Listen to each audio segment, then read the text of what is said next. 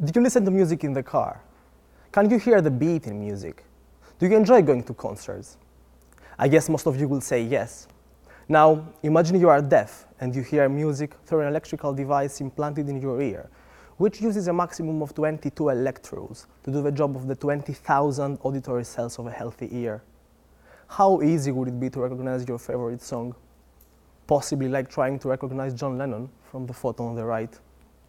This device is called the cochlear implant. Users of cochlear implants report that they find it difficult to identify musical instruments, that music does not sound as it should, and that they don't listen to it much.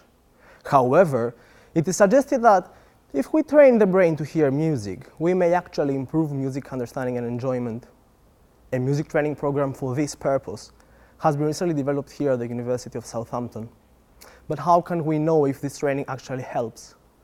Although we have music tests to be used in the lab, there is no measure to evaluate the benefits of music training in real world, everyday listening situations.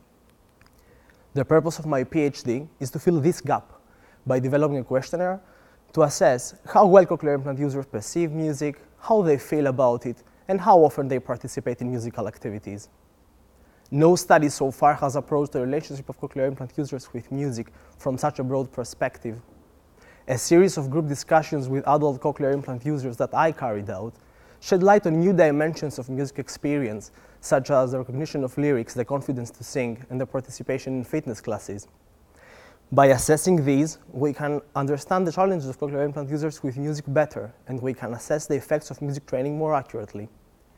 Based on data from these discussions, I have developed a draft questionnaire which will be improved and validated through online and postal surveys with professionals, cochlear implant users, and normally hearing adults.